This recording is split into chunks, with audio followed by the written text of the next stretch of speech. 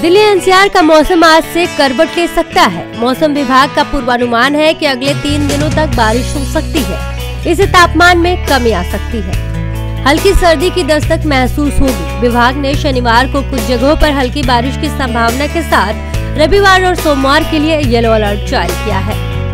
मौसम विभाग के मुताबिक शुक्रवार को अधिकतम तापमान सामान्य से दो अधिक, चौतीस दशमलव नौ व न्यूनतम तापमान सामान्य से एक कम अठारह दशमलव छह डिग्री सेल्सियस दर्ज किया गया। इस सीज़न में ये पहली बार है जब न्यूनतम तापमान सामान्य से कम पहुँचा है। इस वजह से वातावरण में सुबह व रात में हल्की ठंडक महसूस की गई। बीते 24 घंटे में हवा में नमी का स्तर 36 से लेकर इक्यासी फ़ीसदी तक दर्ज किया गया।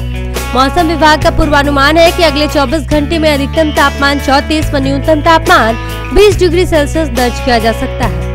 सुबह के समय मौसम साफ़ रहेगा और दोपहर तक कुछ जगहों पर हल्की बारिश दर्ज की जा सकती है। इससे वातावरण में ठंडक बढ़ेगी।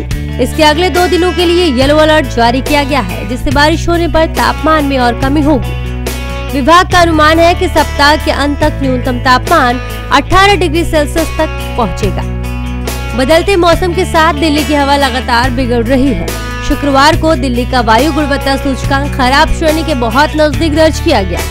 अगले 24 घंटे में इसके खराब श्रेणी में पहुँचने की संभावना है। वहीं एनसीआर के अन्य शहरों की हवा खराब श्रेणी में रही। सीपीसीबी के मुताबिक शुक्रवार को दिल्ली का औसतन वायु गुणवत्ता सूचकांक एक रहा। इसके अलावा फरीदाबाद का 211, गाजियाबाद का 235, ग्रेटर नोएडा का 241, गुरुग्राम का एक सौ पंचानवे और नोएडा का एक सौ रहा। है लगातार तीन दिन है जब एनसीआर के शहरों की हवा खराब श्रेणी में बनी हुई है।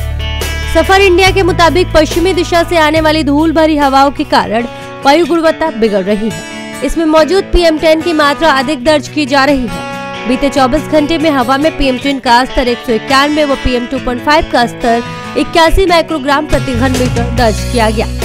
ब्यूरो रिपोर्ट, नवोदय टाइम्स, नई दिल्ली।